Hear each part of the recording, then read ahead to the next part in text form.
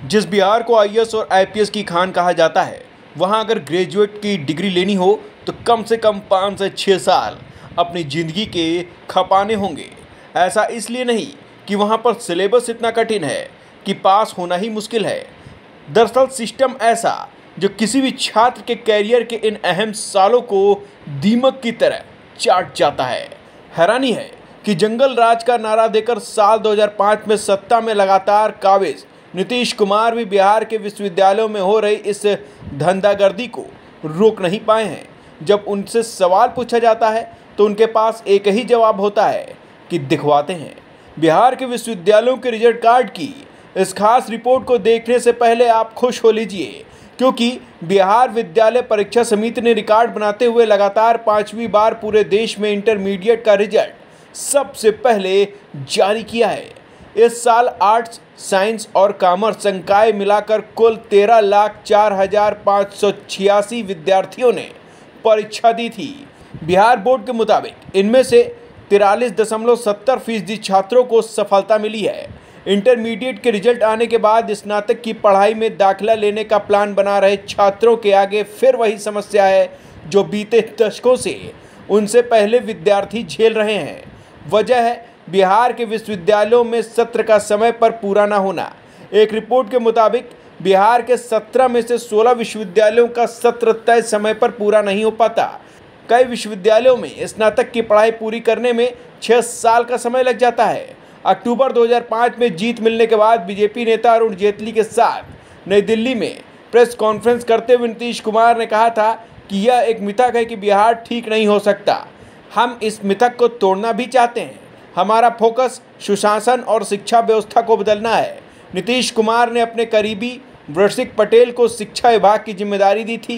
नीतीश कुमार शासन के 18 साल बीत चुके हैं, लेकिन बिहार में विश्वविद्यालयों के हाल ठीक नहीं हैं।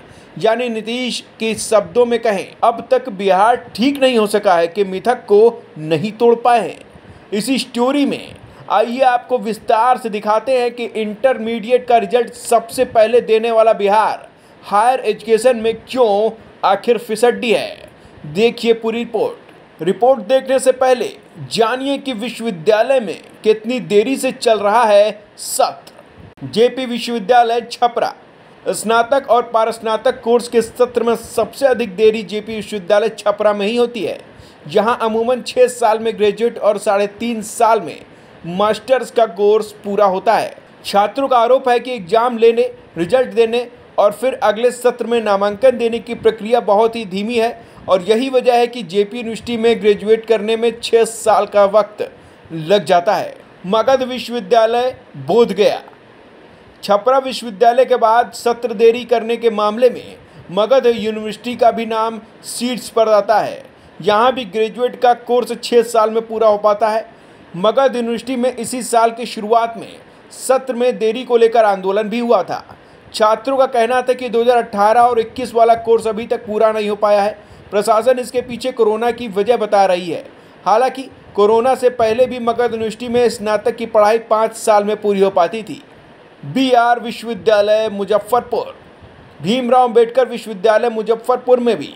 ग्रेजुएट की पढ़ाई पूरी करने में पाँच साल का वक्त लग जाता है।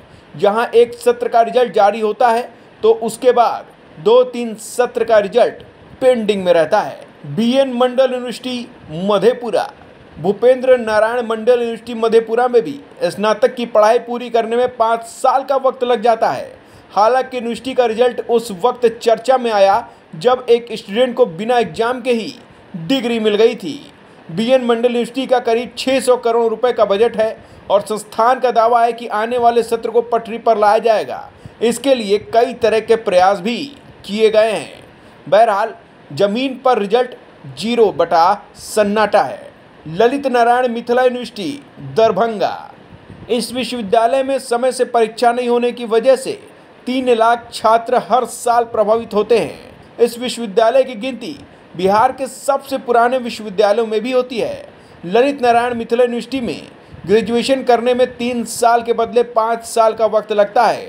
यूनिवर्सिटी में 2015 में आंदोलन हुए थे तो उस वक्त सत्र में सुधार आया था। लेकिन पिछले तीन साल से फिर हालात बद से बदतर हैं।